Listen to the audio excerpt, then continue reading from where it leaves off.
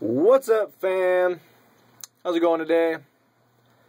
It's uh, it's been a little bit. Today has been a long day. I've been working all morning. I uh, I just got finished with work. Just now getting uh, back to my dorm room at about seven. Um, so I'm gonna do this video real fast, upload it, and then start working on my next Let's Play video for my gaming channel. Um, so funny story. Um, my car because of me working at Best Buy is pretty pretty souped up. You know, I got the subs, um, the fancy deck, and all that stuff. I also have automatic start, and that's something that is almost a must-have in Montana because of it becoming winter, um, getting really cold. You know, you definitely want to get your car started in the morning before you head off to work or school or whatever.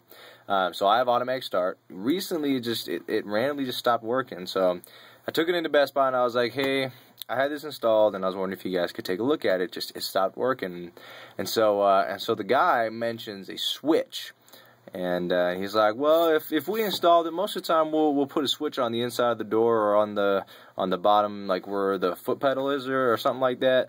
Um, you know where your feet are, and uh, that might just be turned off." And uh, I was like, "Oh, all right." And so he opens my door, looks underneath where like my feet go, and And wouldn't you know it, there's a little silver switch set to the off position.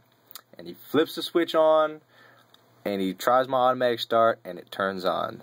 Um, so my foot must have just like somehow kicked that switch off. Now what I don't understand is why they would put the switch where my feet are gonna be.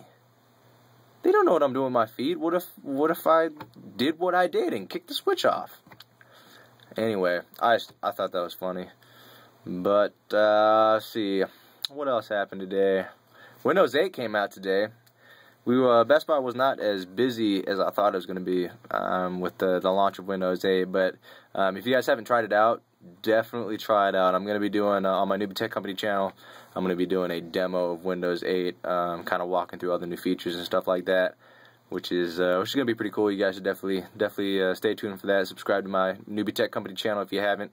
Um, but uh, yeah, it's gonna be it for now. Um, not much going on, so I probably won't have another uh, vlog up today. But uh, if I do, all my subscribers will definitely be first to know. So definitely subscribe, all that good stuff. Uh, but for now, peace out. See ya.